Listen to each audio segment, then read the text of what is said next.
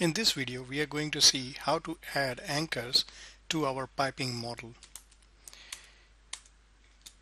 Here we have a previously added piping model in front of us. Now we need to add anchors to node number 1 and node number 5.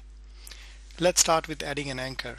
In StartProf it is very easy to add an anchor. You can add an anchor by just going on towards the right and it says here enter anchor or you can go to insert insert restraints and anchor. In either case you'll be presented with a dialog box like this.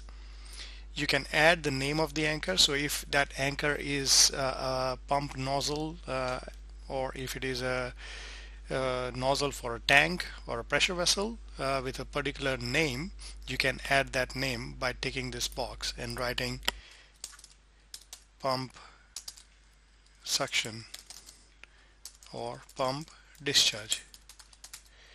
You can also say check allowable loads. If this actually is a pump discharge or pump suction, you can add the allowable loads that pump manufacturer has given and StartProf would be able to uh, calculate that for you. For the time being we are not adding the allowable loads but we'll keep the name of the anchor we click on OK and an anchor will be placed in here at node number one now at node number five we would like to add an anchor. There are two ways to do it. We can still click on the uh, insert anchor button or we can just copy and paste it at node number five.